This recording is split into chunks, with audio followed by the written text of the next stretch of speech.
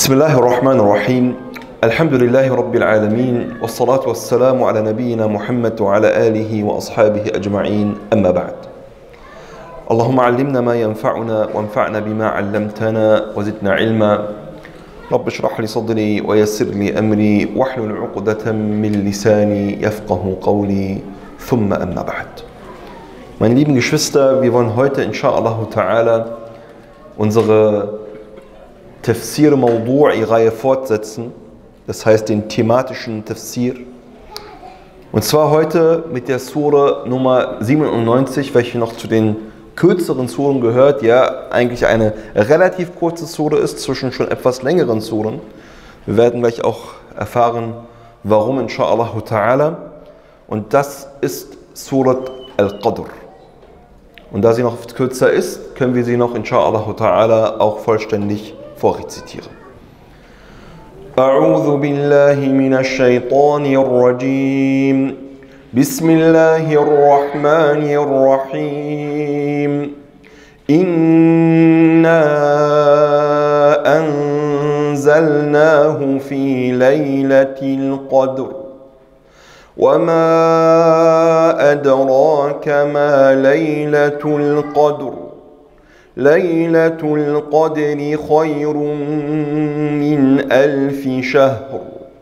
تنزل الملائكة والروح فيها بإذن ربهم فيها بإذن ربهم من كل أمر.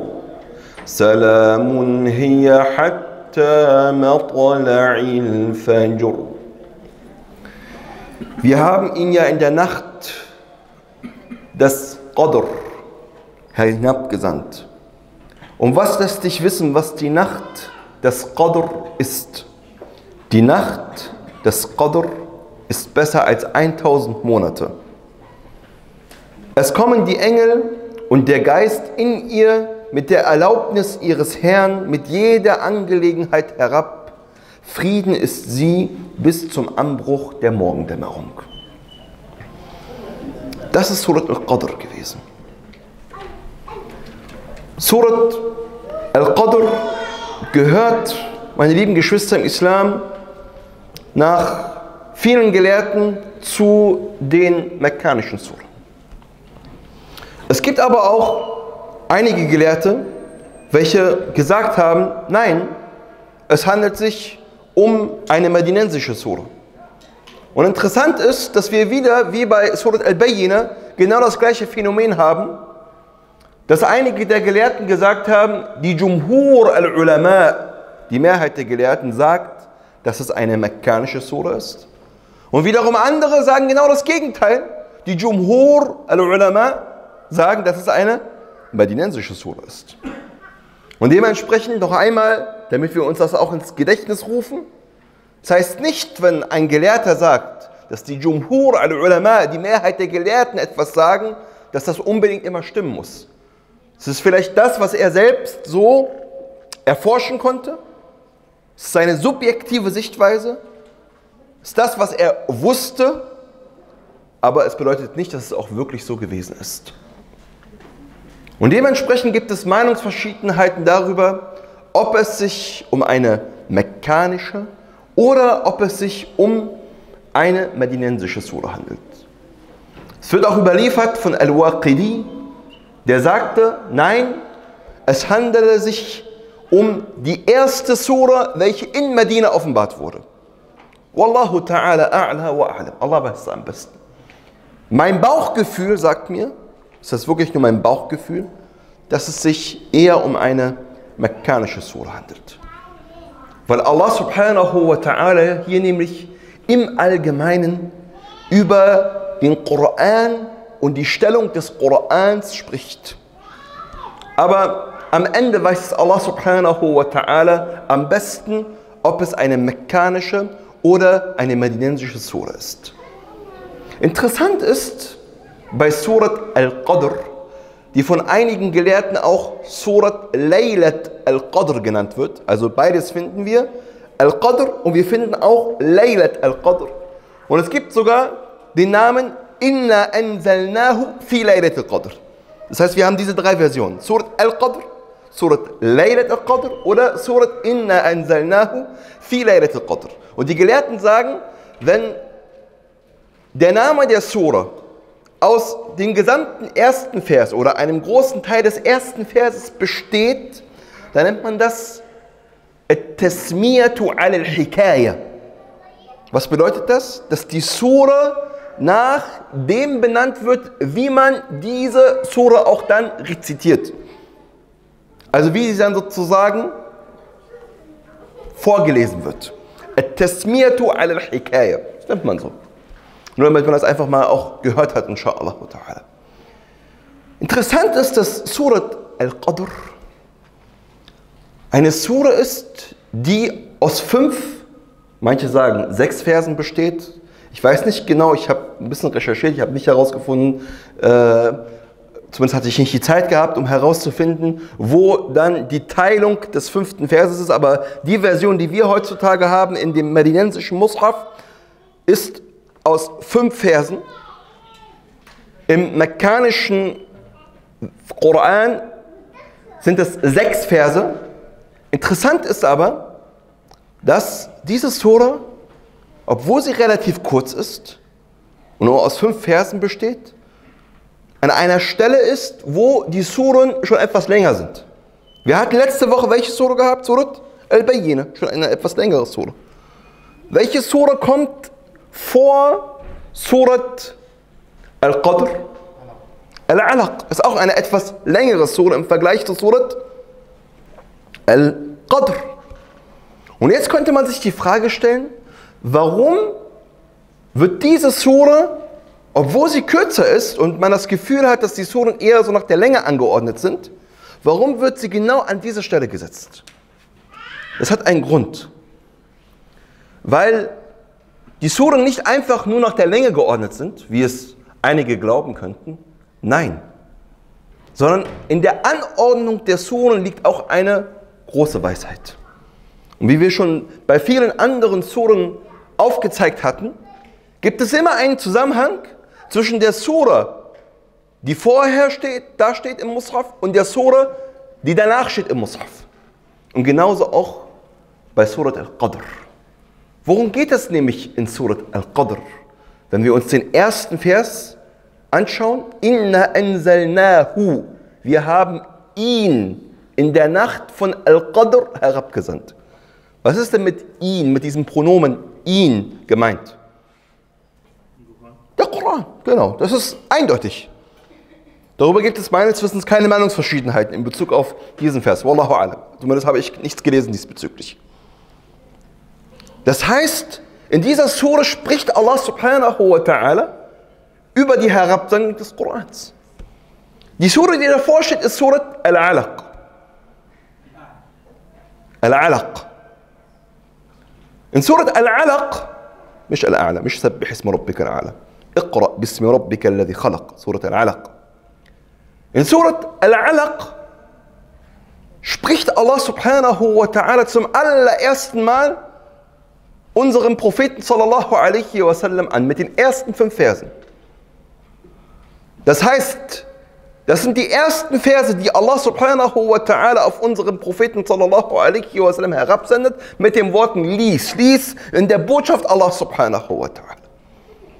Das heißt, in der Surah, die davor ist, haben wir die erste Offenbarung überhaupt, in der der Prophet sallallahu alaihi wasallam von Jibril a.s. dazu aufgefordert wird, diese Verse zu lesen.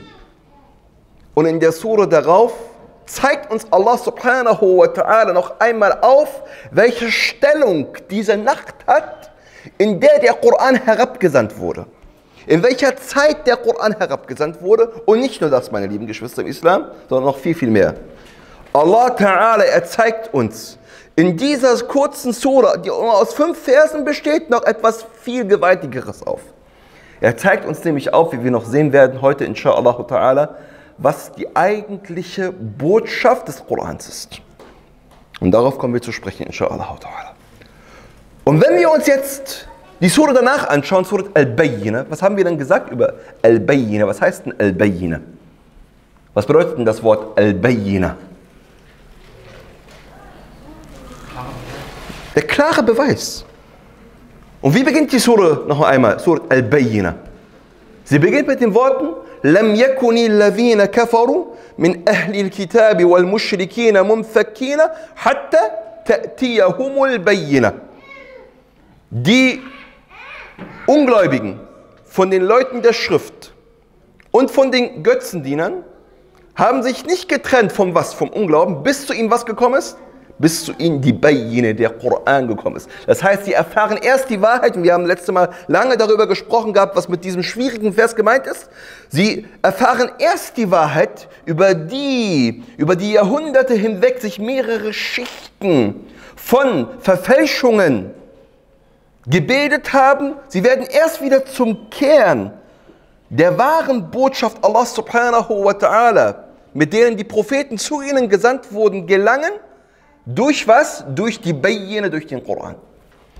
Also wir sehen, Surat Al-Qadr ist nicht einfach so an dieser Stelle, sondern Surat Al-Qadr hängt mit der Sura zusammen, die davor steht. Und hängt auch automatisch mit der Sura zusammen, die danach steht. Und zwar ganz klar und deutlich. Und da sehen wir, das ist kein Zufall. Die haben sich das nicht einfach so ausgedacht oder sind so dumm gewesen, die Sahaba und wussten nicht, wie lang eine Sura ist, sondern Allah subhanahu wa ta'ala hat Jibril alaihi salam ganz klar gesagt, was er Muhammad sallallahu alaihi wasallam sagen soll, wo welche Sura ist. Und deswegen im Ramadan hat der Prophet sallallahu alaihi wasallam immer in den letzten zehn Nächten mit Jibril alaihi salam die gesamte Nacht was getan? Sie haben die gesamte Nacht sich mit nichts anderem beschäftigt, als dass sie den Koran, der offenbart wurde, bis zu diesem Zeitpunkt noch einmal durchgehen, sodass Jibril a.s. ihnen ganz genau sagt, wo was an welche Stelle kommt. Es ist göttlich, der Koran ist göttlich in jeder Hinsicht. Und Surat Al-Qadr beginnt mit den Worten Inna. Surat Al-Qadr beginnt mit den Worten Inna. Wir Allah subhanahu wa ta'ala, er hätte auch einfach sagen können, Nahnu. Oder? Nahnu, wir. Aber er beginnt mit den Worten Inna. Was ist denn der, diejenigen, die ein bisschen Arabisch können? Was ist der Unterschied zwischen Nahnu und Inna? Wahrlich dazu. Wahrlich, da ist so ein wahrlich drin, da ist ein Inna. Und wozu ist dieses Inna da? Dieses Inna ist Taukid. ist eine Art Bestätigung. Ja? Allah Ta'ala hätte sagen können, Nahnu einfach so. Nein. Allah will aber noch einmal aufzeigen, wahrlich, der Koran kommt von wem? Von niemand geringerem als dem Schöpfer dieses Universums. Inna. Und jetzt könnte jemand sagen, hä, warum spricht denn Allah Ta'ala immer in Pluralsform an manchen Stellen? Manche der ein bisschen dummeren Missionare, ja, die versuchen dann ganz einfach einen Muslim weiß zu machen, ah, guck mal, ja, Gott spricht immer von inna, wir. Das heißt, er besteht aus drei Teilen, genauso wie bei uns im Christentum. Oh, unser Blödsinn. Ja, damit kannst du, ist genauso, kennt ihr das Argument, ich habe es euch einmal erzählt in Dar es Salaam, ja, da war ich vor 20 Jahren ungefähr, war ich mit den Leuten von Tablir unterwegs gewesen. Und dann kam, war so ein arabischer Christ gewesen, der hat so getan, als wäre er Muslim. Und dann spricht er mich an, da haben wir, wollten wir mit dem Dauer machen auf der Straße, wir haben immer die Leute angesprochen auf der Straße. Und auf jeden Fall meinte ich dann zu ihm, ja, willst du nicht in die Moschee kommen? Ah, euer Koran und so, ich bin Muslim, aber euer Koran, ja, in eurem Koran steht, dass Allah den Propheten anbetet. Ich so, wo das denn? Sagt nicht Allah, äh, sagt nicht sozusagen, sagt nicht der Koran, Inna Allah wa malaikatahu yusalluna ala nabi. Allah und seine Engel, ja, yusallun, also beten sozusagen ala nabi, also er hat es so interpretiert, sie beten den Propheten an. So ein Blödsinn. Jeder, der ein bisschen arabische Sprache kann, ein bisschen arabische Sprache kann, der weiß, dass es einen Unterschied gibt zwischen Yusalli li und Yusalli ala. Ja? Das heißt, Allah und die Engel segnen den Propheten sallallahu alaihi wa Ein großer Unterschied. Ja? Und sprachlich As-Salah, ja, aber manchmal so dumme Leute, ja, die glauben das dann. Einfache Muslime, naive Muslime, die keine Ahnung haben, hören das und sagen, oh, stimmt, das habe ich noch nie gehört. Inna heißt nicht, dass Allah Ta'ala aus mehreren Teilen besteht oder dass es mehrere Gottheiten sind. Nein. Das ist eine Form, die auf die Allmacht und auf die Erhabenheit Allah subhanahu wa ta'ala hindeutet. Allah spricht von sich in der Majestätform. Genauso wie es Könige machen, wir Genauso wie wir es in Deutschland haben, wenn ich jemanden sieze, ist doch eine Person. Sie ist doch eigentlich für mehrere Personen. Ja? Wenn ich das sage, kann ich im Grunde genommen, wenn ich es sage, nicht unterscheiden ja, zwischen sie in der Pluralform oder in der Singularform. Aber jeder weiß, damit ist was gemeint, nicht weil da mehrere Personen stehen, sondern damit ist lediglich gemeint, dass ich diese Person respektiere. Und Respekt gegenüber dieser Person. In schriftlicher Form kann ich es unterscheiden zwischen großem S und kleinem S. Aber in gesprochener Form kann ich es nicht unterscheiden. Deswegen hat man auch manchmal bei der Übersetzung aus dem Englischen ein Problem, was you ist. Ist you jetzt sie? Ja? Oder was ist mit you genau gemeint? Und Allah subhanahu wa ta'ala, er bestätigt, dass der Koran von ihm als Schöpfer dieses Universums herabgesandt wurde. Und interessant ist, es wird nicht mit einem einzigen Wort hier der Koran erwähnt. Aber jeder weiß, dass es der Koran ist. Allah benutzt lediglich das Pronomen hu, also inna anzalna hu. Wir haben ihn herabgesandt in der Nacht der Bestimmung. Mit ihn weiß jeder, der das hört, damit ist der Koran gemeint. Also ich brauche gar nicht den Koran zu nennen, weil der Koran so bekannt ist und so wichtig ist und solch eine Stellung hat, dass jeder weiß, dass mit diesem Pronomen hu was gemeint ist und was gemeint sein muss, das Wort Allah subhanahu wa ta'ala. Inna anzalnahu Fi Laylatil Qadr. In der Nacht der Bestimmung. Interessant ist, Allah Ta'ala, er hat den Koran in der Nacht herabgesandt. Und wir wissen, dass unser Prophet sallallahu alaihi wasallam was getan hat. Er hat sich im Ramadan zurückgezogen und wie es Aisha radiallahu anha überliefert, yatahannathu äh, al-layali dhawat al-adad. Was ist Tahannus? Tahannus ist die Ibad, al-Ta'abbud. Er hat Ibade gemacht, er hat meditiert mehrere Nächte. Das heißt, unser Prophet sallallahu alaihi wasallam, er hat sich auf die Nacht konzentriert und die Zeit, in der der Koran herabgekommen ist, ist auch die Zeit der Nacht. Man könnte sich jetzt fragen, warum gerade die Nacht, warum nicht der Tag? Es hat verschiedene Gründe. Warum gerade die Nacht? Ein Grund ist, die Nacht ist eine Zeit der Ruhe. Die Nacht ist eine Zeit, in der man sich Gedanken machen kann. Über Dinge, über die man sich am Tag aufgrund der Hektik des Alltags keine Gedanken machen kann. Und Allah subhanahu wa ta'ala, er sendet den Koran oder er lässt den Koran offenbaren in der Nacht zum allerersten Mal, um uns vielleicht auch darauf hinzuweisen, oh ihr Muslime, der Koran ist nicht dazu da, damit er einfach nur rezitiert wird in der Alltagshektik, ohne sich darüber Gedanken zu machen. Nein, der Koran, er wurde offenbart, damit ich mir als Mensch darüber auch wirklich Gedanken machen kann. Damit ich reflektieren kann über das Wort Allah subhanahu wa ta'ala. Damit ich mir Zeit nehme für die Verse, die Allah Ta'ala auf unseren Propheten sallallahu alaihi wasallam herabgesandt hat. Es hätte auch, auch der Tag sein können, oder? Warum gerade die Nacht? Ich meine, ja, warum gerade in der Nacht? Ja? In der Nacht, damit Allah Ta'ala vielleicht uns noch einmal aufzeigt, der Koran ist gekommen, um dem Menschen Licht zu geben in der Dunkelheit. Damit der Mensch ein Licht hat, welches ihn leitet zu Allah subhanahu wa ta'ala. Und noch einmal klarzustellen, der Koran ist ein Führer für uns. Der Koran ist nicht einfach nur da, damit wir ihn in den Schrank stellen und dann bewundern und uns freuen, dass wir eine Offenbarungsschrift haben. Sondern der Koran ist dazu da, damit er uns in unserem Leben und durch unser Leben führt. Guck mal der Unterschied. Ja, da sehen wir, wie viele Weisheiten da drin stecken in Layl. Nur ein einziges Wort und noch unendliche andere Weisheiten. Ja, das ist nur das, was einem in den Sinn kommt. Warum gerade Layla? Warum nicht Nahar? Allah subhanahu wa ta'ala, er will uns etwas sagen damit. O Muslim, der Koran ist dein Licht. Wer hat den Koran herabgesandt? Nazala bihi ruhul amin. Und in diesem dieser Sura kommt auch nochmal Ar-Ruh vor. Und was ist Ar-Ruh? Ar-Ruh ist der Atem. Ursprüngliche Bedeutung von Ruh, auch in den anderen semitischen Sprachen Ruah, ja, ist der Atem, der Wind. Und deswegen auch im Arabischen. Ja, Ruh ähnelt dem Wort Rih. Ja, Rih im Arabischen ist Wind. Und Ruh ist im Grunde genommen der Lebensodem, den Allah subhanahu wa ta'ala dem Menschen einhaucht.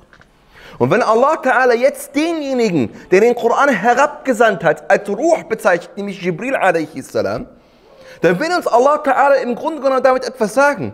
Derjenige, der mit dem Koran herabgekommen ist, ist im Grunde genommen genau wie jemand, der uns erst gezeigt hat, was es bedeutet, auch wirklich zu leben. Der Koran gibt uns Leben. Ohne den Koran führst du kein richtiges Leben. Du lebst zwar vor dir her, aber du lebst nicht wirklich. Du glaubst, du lebst, aber du lebst nicht wirklich. Warum? Weil du nämlich dein Lebensziel verfehlt hast. Du lebst auf dieser Erde und du weißt gar nicht, warum du auf dieser Erde lebst. Du bist Philosoph, du hast, bist Professor, bist Gelehrter, aber trotzdem weißt du nicht, warum du auf dieser Erde bist. Und vielleicht ein einfacher Bauer. Das ist nichts gegen Bauern, ja, aber meistens ist es so, dass man, wenn man an Bauern denkt, dass man denkt, dass sie vielleicht nicht gerade studiert haben, ja, zumindest in vielen, sag ich mal, vielleicht dritte Weltländern, ja, vielleicht hier in Deutschland, ja, aber, ja, oder ein einfacher Mann, eine einfache Frau, die vielleicht Analphabetin ist, die aber den Koran bekommen hat, sie weiß, warum sie auf dieser Erde ist. Während jemand, der vielleicht den Koran nicht hat, das Lebensziel verfehlt. Und dementsprechend, Allah Ta'ala, er bestätigt hier in diesem Vers noch einmal klar und deutlich, um was für eine gewaltige Angelegenheit es sich bei der Herabsendung des Korans handelt. Und dementsprechend haben wir auch, sagt auch Al-Zamakhshari in seinem Tafsir, Al-Zamakhshari ist ein sehr, sehr bekannter Gelehrter gewesen, der leider Mu'tazilit gewesen ist. Ein Mu'tazilit ist einer dieser Rationalisten. Ja? Er ist selbst Mu'tazilit gewesen, aber er hat einen wirklich sehr wichtigen Tafsir geschrieben. Und zwar Al-Kashaf. Und Zamakhshari, er beschreibt in seinem, ach schuldig, das ist gar nicht Zamakhshari, oder? Ich, doch, doch, doch, ich bin gerade hier verrutscht.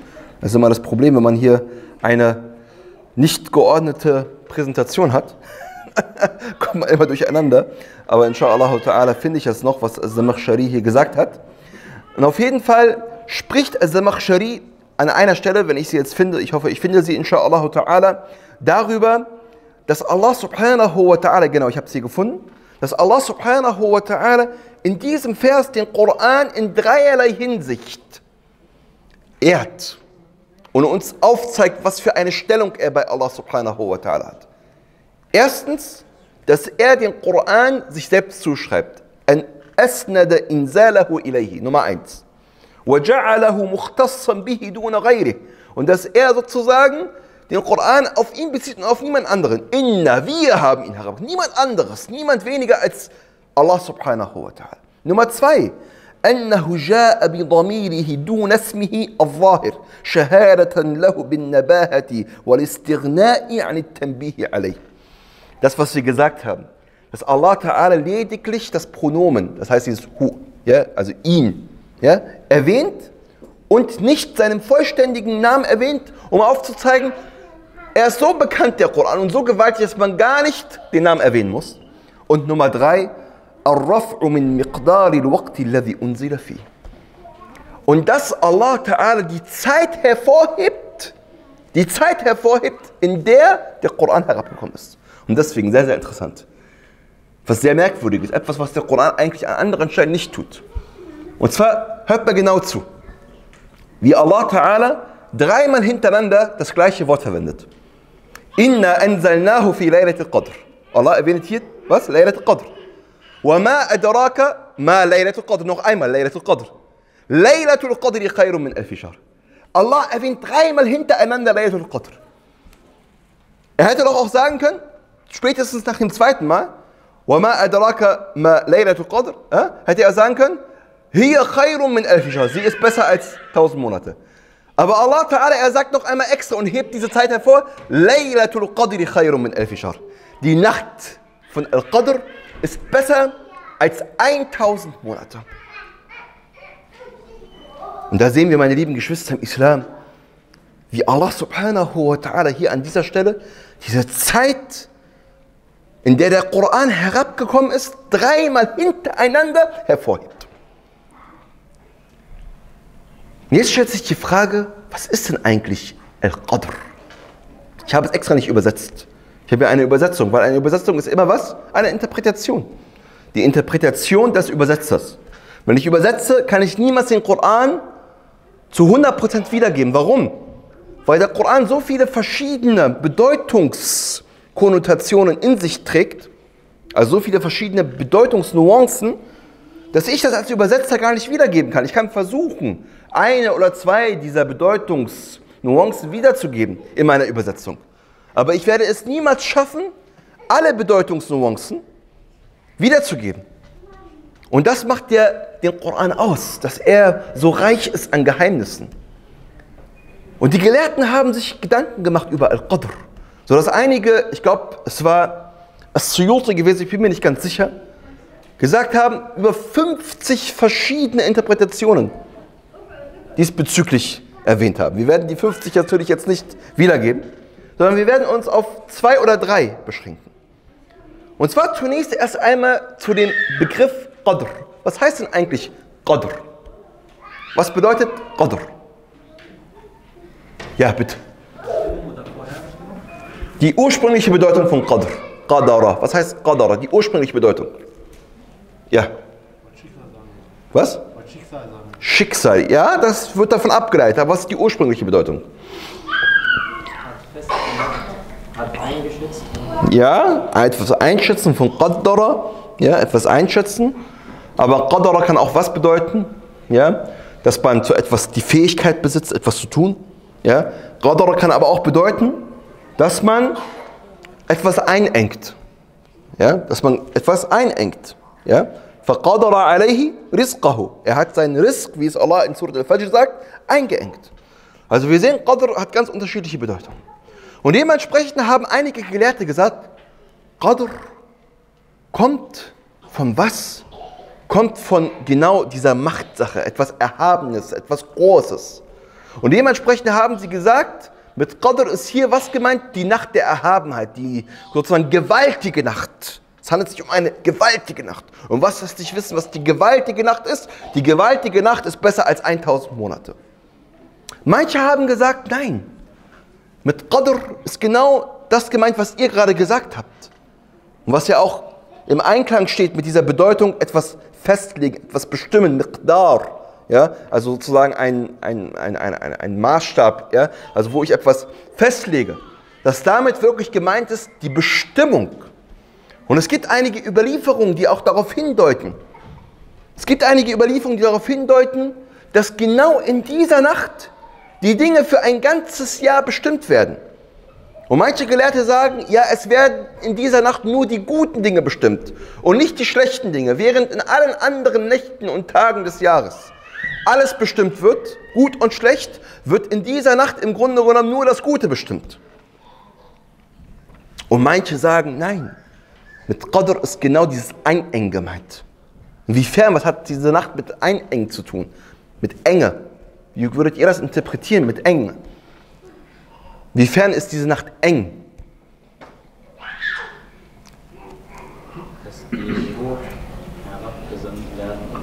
die Engel kommen herab, sodass kein Platz mehr ist auf Erden. Dass es richtig eng wird durch die Enge. Also wir sehen, das sind so die drei gängigsten Bedeutungen von Inna anzalnahu fi laylatil qadr. Es handelt sich also um eine gewaltige Nacht. Und diese Nacht, und wir haben schon oft über Laylatul Qadr gesprochen, wir werden heute auch nicht auf diese Einzelheiten so genau eingehen. Wir werden es kurz erwähnen, aber nicht genau, weil das ist nicht unser Ziel. Unser Ziel ist Tafsir Mawdu'i. Wir wollen wissen, was sind die Ziele und die wichtig, das Thema der Sura. Was will Allah Ta'ala uns mit dieser Sura konkret sagen? Das ist das, worum es uns geht.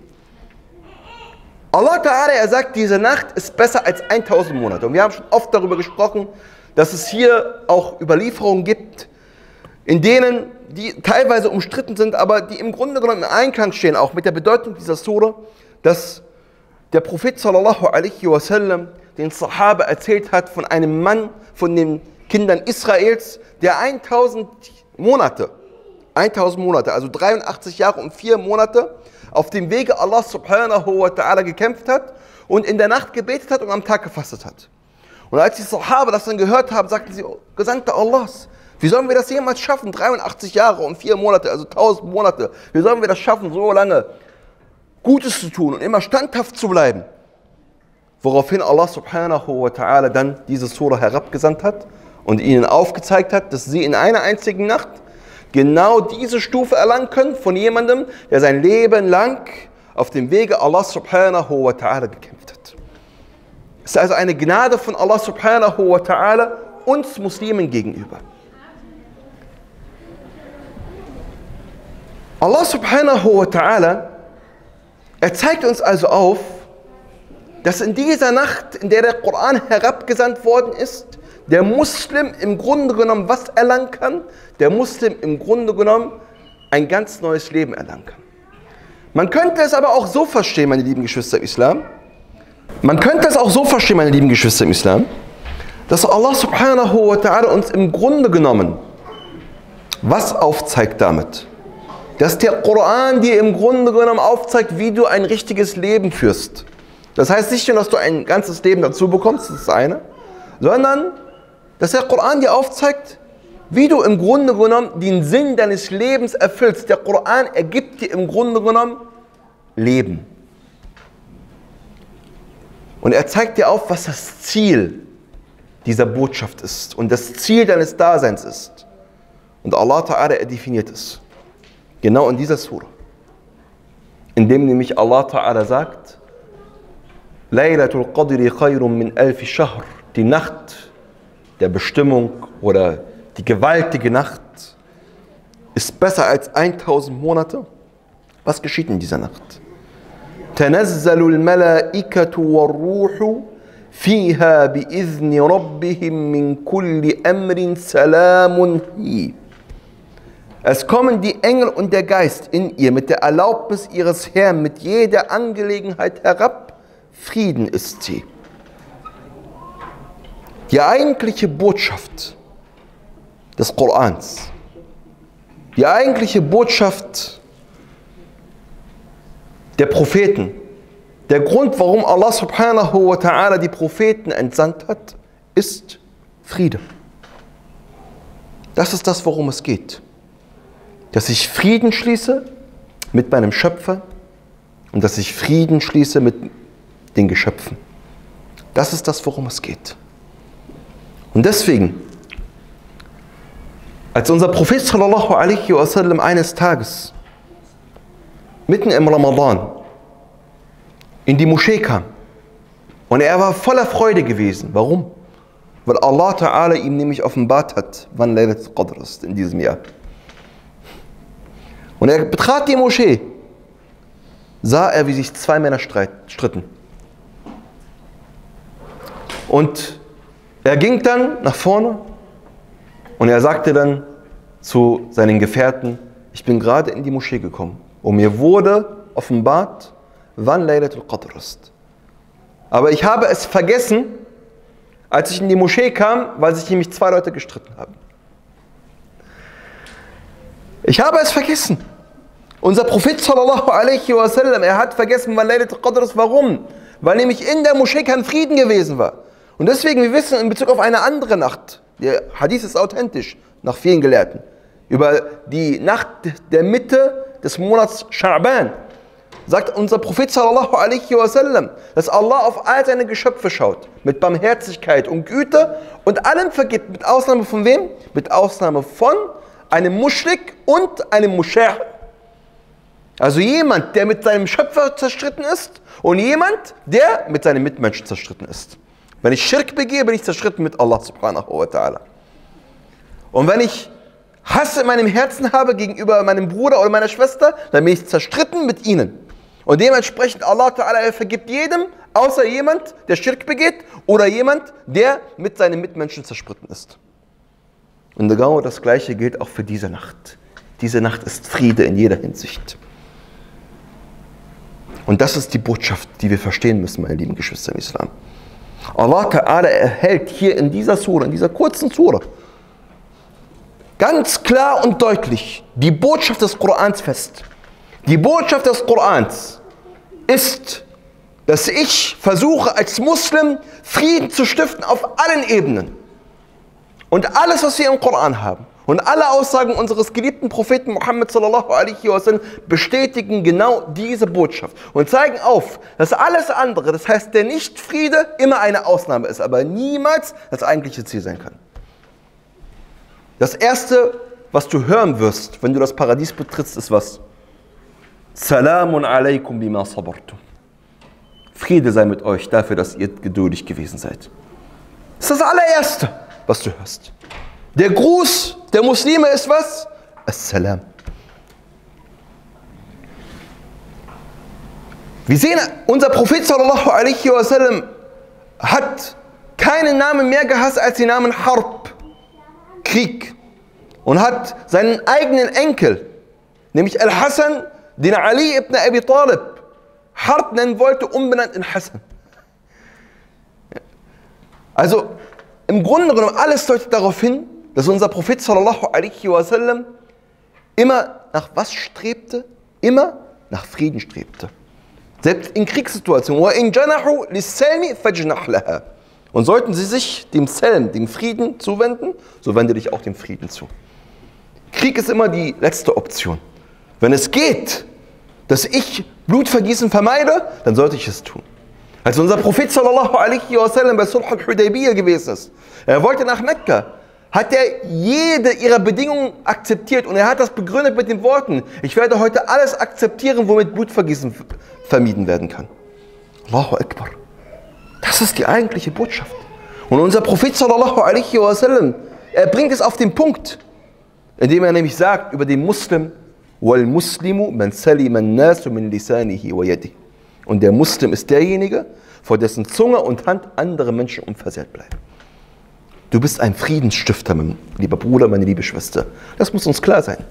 Jeder Mensch, der um dich herum lebt, muss das Gefühl haben, boah, das ist wirklich jemand, dem man vertrauen kann. Das ist jemand, in dessen Gegenwart ich mich wohlfühle. Die Nachbarn müssen das Gefühl haben, das ist der beste Nachbar, den wir haben.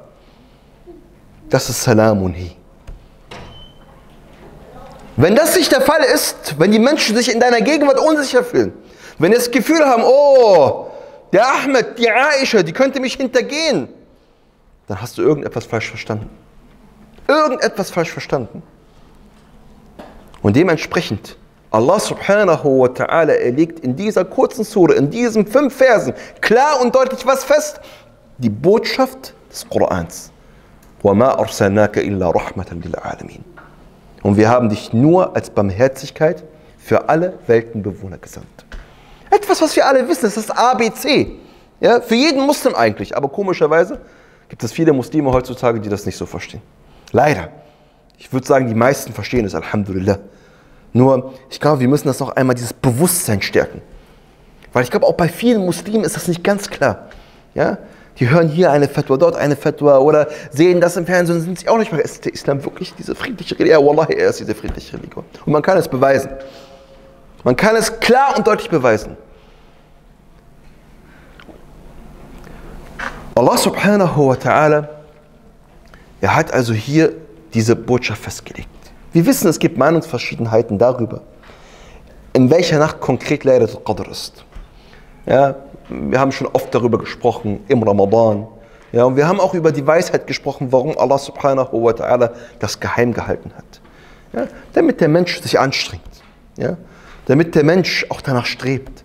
Und vielleicht noch ein Hinweis darauf, dass wirklich ja, diese Nacht eine Nacht des Friedens ist und dass der Friede im Grunde genommen hier ja, die Botschaft des Korans noch einmal wiedergibt, ist, dass der Prophet sallallahu alaihi wasallam, als er gefragt wurde von Aisha, was soll ich sagen in dieser Nacht? Wenn ich weiß, dass es Laylatul Qadr ist, was ist das Dua, was wir alle kennen? Ja? Wie lautet das Dua? Was soll man sagen? Allahumma innaka afuun tuhibbul afwa fa'fu anni. Oh Allah, du bist gütig, du liebst Güte, so vergib mir. Ja? Alles deutet auf was hin? Alles deutet konkret auf diesen Frieden hin. Und das Schöne ist, äh, warum ich das jetzt noch erwähnt habe, obwohl es allen bekannt ist, dass sozusagen Laylat al-Qadr, dass es da Meinungsverschiedenheiten gibt. Ja, ich habe heute noch einmal in einem Vortrag äh, von Salman al-Uda, äh, hat er das nochmal sehr, sehr schön erklärt, wie Abdullah ibn Abbas darauf gekommen ist, dass es die 27. Nacht immer sein muss. Es gibt ja da und, also sehr, sehr viele unterschiedliche Meinungen, ob das sozusagen in welcher Nacht das ist, ob, es wand, ob die Nacht wandert oder ob sie nicht wandert, ob sie schon vor dem Islam gab oder nicht vor dem Islam gab, gibt es sehr, sehr viele Meinungen. Aber das möchte ich euch nicht vorenthalten. Weiß jemand, wie Abdullah ibn Abbas darauf gekommen ist? Wann, warum das gerade die 27. Nacht sein muss? Wir haben ja hier dreimal hintereinander Laylatul Qadr, oder? Und er hat daraus was entnommen? Zählt mal die Buchstaben von, dem Wort, von den beiden Wörtern Laylat al-Qadr. Zählt mal, wie viele Buchstaben sind das? Zählt mal nach. Lam, Ja, Lam, Ta marbuta, Alif, Lam, Qaf, Dal und Ra. Neun. Es wird dreimal hintereinander erwähnt. Wie viel ist dreimal neun? 27. Das ist sozusagen seine Berechnung gewesen. Er hat sozusagen gesagt, ja, 3 mal 9 ist 27. Also das ist ganz klar die 27. Nacht. Ja. Das fand ich sehr, sehr schön. Das ist jetzt einfach mal so nebenbei als Anekdote, inshallah, diesbezüglich. Ja. Wenn man auch sieht, das ist wirklich Habrul Umma gewesen. Ja. Das ist wirklich der Gelehrte der Umma gewesen. Ja. Wie kommt man darauf? Ja. Ich, ich, weiß es nicht. Ja. Subhanallah, so wirklich so Dinge, ja, die man nicht auf Anhieb erkennt. Ja. Und das ist dann der Unterschied zwischen einem wirklichen Gelehrten ja, der sich Gedanken macht, der sich beschäftigt mit dem Koran und jemand, der den Koran halt liest, wie wir das tun und äh, ja, dann nicht dieses tiefe Wissen hat. Möge Allah subhanahu wa ta'ala uns ebenfalls dieses Wissen geben, was er, oder einen Teil von diesem Wissen geben, was er Abdullah ibn Abbas gegeben hat, Habru hadhihi al-Umma. Und jetzt, Allah ta'ala, er spricht von den Engeln und Ar-Ruh. Allah Ta'ala erhebt noch einmal extra Jibril a.s. Ar-Ruh hervor, auch wenn es Meinungsverschiedenheiten gibt darüber, ob es wirklich Jibril ist oder nicht. Aber er erwähnt noch einmal extra, dass auch in dieser Nacht wer herabkommt? Ar-Ruh, das heißt Jibril a.s. mit all den anderen Engeln, um den Frieden zu verbreiten. Und dann legt Allah Ta'ala fest, dass dies nur bis zur Morgendämmerung geht um uns aufzuzeigen, es ist eine kurze Zeit. Eine Zeit, die wir als Muslime nutzen sollten. Und das ist vielleicht auch ein Hinweis darauf, weil in dieser Sure geht es ja im Grunde um das Leben. Es ist vielleicht auch ein Hinweis darauf, das Leben ist kurz, o oh Muslim. Nutze dein Leben. Nutze die Zeit. Versuche gerade diese Zeiten, wo Allah dir die Möglichkeit gibt, ihm näher zu kommen in einer unglaublich schnellen Art und Weise und viele Hasanat zu erhalten und um Stufen erhöht zu werden, versuche diese Zeiten zu nutzen.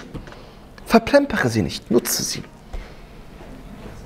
Weil dein Leben ist zu kurz, als dass du solch eine wertvolle Zeit einfach so verschenken kannst. Möge Allah subhanahu wa ta'ala uns zu jenen gehören lassen, welche diese Zeiten, diese besonderen Zeiten bei Allah subhanahu wa ta'ala immer in richtiger Art und Weise ausnutzen.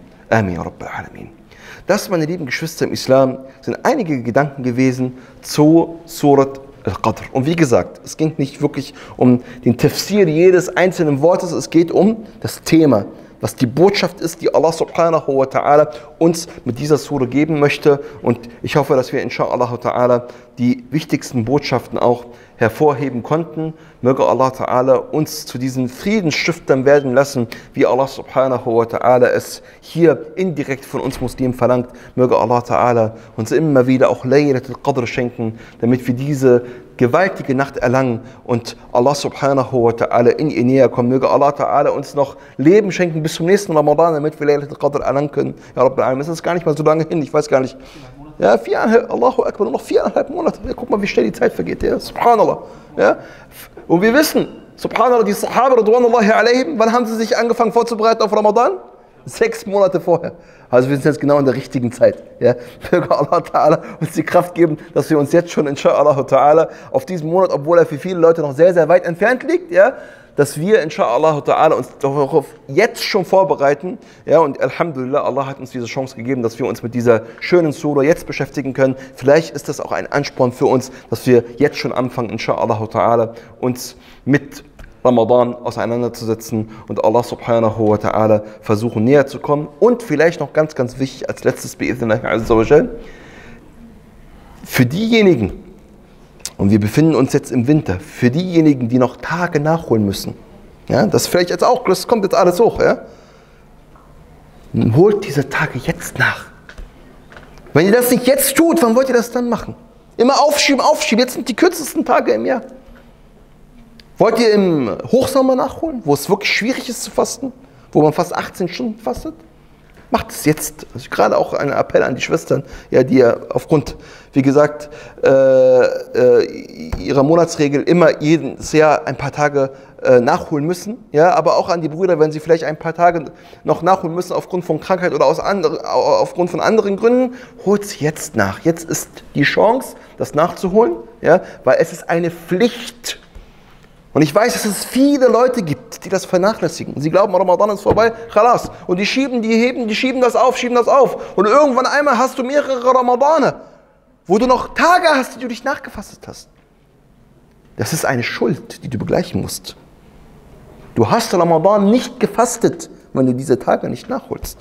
Und dementsprechend vielleicht noch einmal ein Appell an uns alle, ja, falls jemand noch Tage haben sollte, die er nachfasten muss, sollte er das jetzt schnellstens tun. Jetzt ist es leicht, jetzt fällt es uns einfach. Ja? Und dementsprechend ja, ist das ganz gut, dass wir heute über diese Sura gesprochen haben, damit wir uns vielleicht daran noch gegenseitig erinnern. Möge Allah Ta'ala von uns allen annehmen. Rabbil Alamin. Barakallahu fikum. Assalamu alaikum wa rahmatullahi wa barakatuh.